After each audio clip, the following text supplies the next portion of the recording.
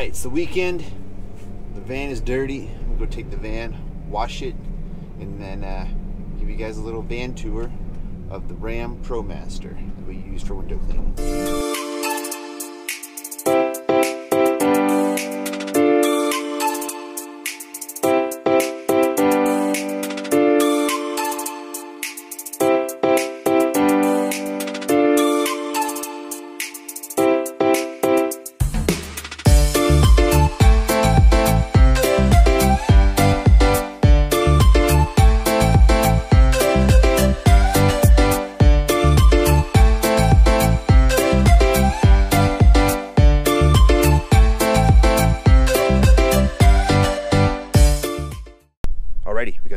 Clean.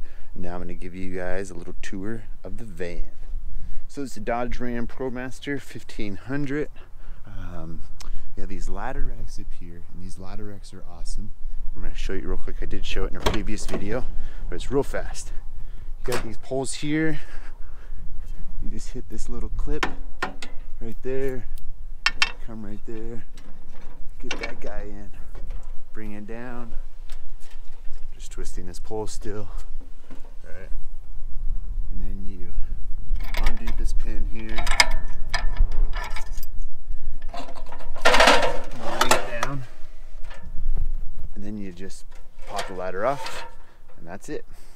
But that is a very nice feature to have because it's a very nice feature to have. Just uh, ladder racks are great, like the ones that you'd put on like a pickup this one's just a little nicer as far as just not having to worry about your ladders ever coming off.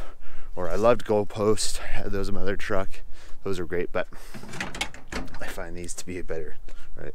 They're just more expensive, so they're gonna be better. So we have a reverse cam up here so we can see if we're uh, gonna hit anybody when we're backing up. But let's get into the inside of the van. Sliding door and then two back doors. There that open. So pretty much, pretty much here, cup holders. This is where we have um, use your soaps or my big water bottle, trash can for any trash. I'm gonna close the back doors here because it's windy. It's just a windy day. Just trying to clean the car and it was just a disaster. So, as far as what we have in here, um, probably mount you up here. Okay, so as far as what we have in here, up here is just kind of a miscellaneous shelf. Um, gloves if we need them, uh, string holder for ladder. We got an extra gunslinger up here. So we have a bunch of different bins here, and basically um, 24 inch rubbers, 20 inch rubbers, 18 inch rubbers, 14 inch rubbers, any kind of little water fed pole supplies, any sort of traditional type of stuff steel wool, magic erasers, and tool pads. I still haven't gotten it organized exactly how I want, but Jim did an awesome, awesome job organizing it, so it, it's doing pretty well. Um, next year on this shelf, just some miscellaneous stuff. Always put old razors in a Gatorade bottle. Um, so I put my squeegees for now. What I want to do is I want to mount something right up here or right here, and then put a bunch of clamps for my squeegees. Uh, just haven't gotten to that yet. Probably get to it later, later on this spring. Down below here, I have a bunch of mops, sleeves, the ledger there. Also the new double bend 22 inch ledger. Um, but a bunch of mops. So a bunch of sleeves here in the milk crate. Uh, got like a Ettore backflip in there. It's got a bunch of mops just in case somebody needs ones or a T-bar breaks. That happens pretty commonly. Here, just a toolbox of, uh, this is where I'll keep uh, Ettore rubbers.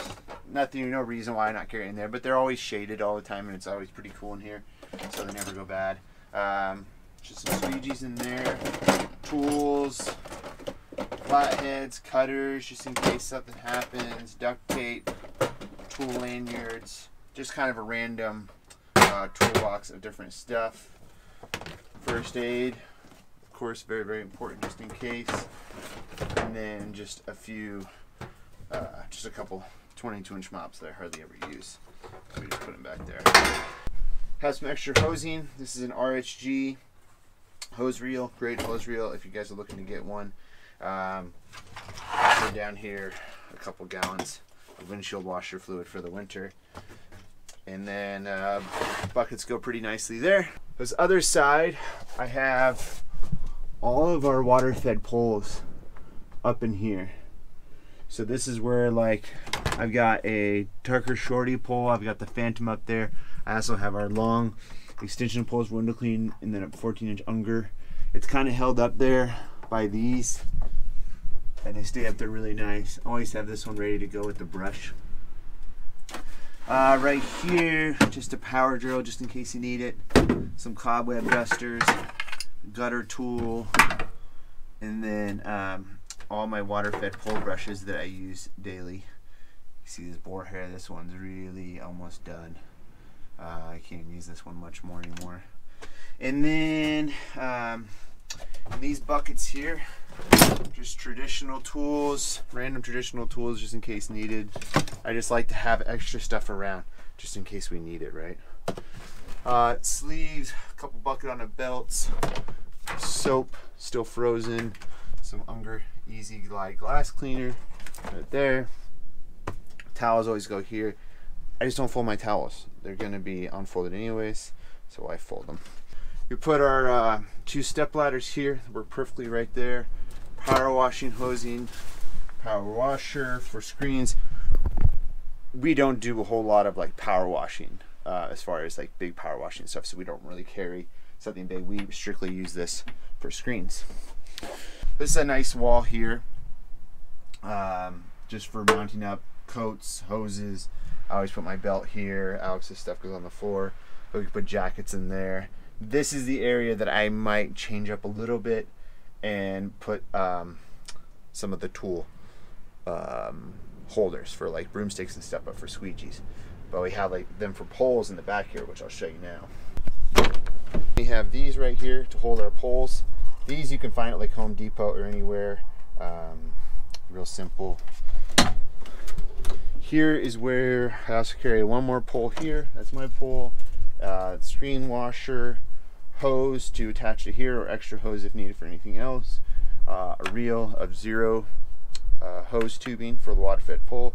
And then our Xero here always mounts like this. I just put it in today to kind of show you how we mount it in here. It's super easy. There's some hooks down here. I just hook it right there and with two bungee cords. It's completely tight. There's not much. There's not much I'm even really going to change about it. This was all Jim's creation and he did an awesome job. Um, we got another van coming, so I'm sure he'll even do even more awesome. And He built that whole wall and he's got some great ideas as far as this stuff goes. I don't know where we ordered all the shelving, but we did have have it all uh, professionally put in. Uh, but man, it's it helps so much to have everything organized and to have everything here. It's such a help. I've worked out of a truck for over six years or seven years, um, and it just I just got tired of it. So like, I was so happy to be able to uh, drive this work work van. So this is our company van. It's not my personal. Um, double doors here in the back, very very nice. I'll take you into the cab. The cab, front cab. Pretty pretty simple front cab here. Um, a lot of areas to hold stuff. Okay, so in this cab, uh, not a best amount of room for like three people. that's what it's made for. It's a bench seat, three person bench seat. Um, it's automatic, so a lot of storage up here. This is where we keep winter gloves, hats, uh, headphones, um, just different stuff like that. Down here and here, there's a little extra cubby. You know, cup holders around the sides. Everything good. Extra storage in here. I mean, there's just stuff everywhere. So it's pretty awesome.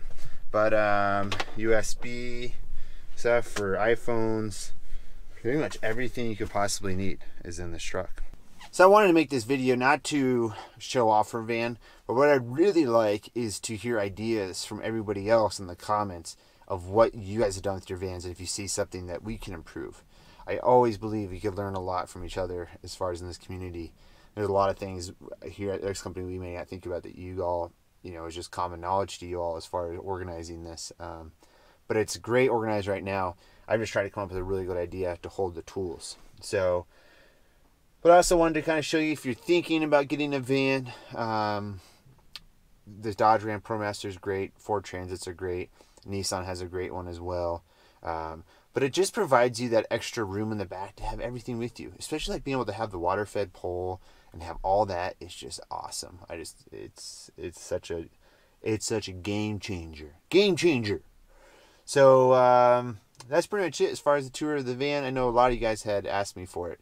So um, I've had it in some pictures on Instagram, I've had it in a couple of videos, but until I really it became my my work van, I didn't really want to do a video on it. Um, so maybe when the other van comes, we'll do a video on that in like a year when that's all finally organized, and I'll give you guys little updates here and there about stuff I do in this van. But if you have any questions, comment below, and uh, I will answer them for you. And we'll talk to you guys soon. Peace. Bye.